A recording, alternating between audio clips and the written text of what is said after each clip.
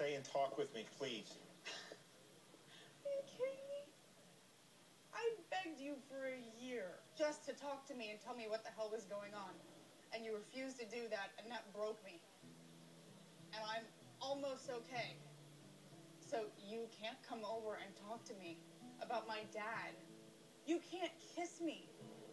Okay? You can't pretend like you didn't destroy me. Because you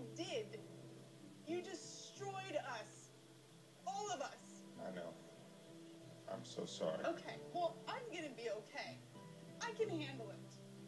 I don't know if the kids can.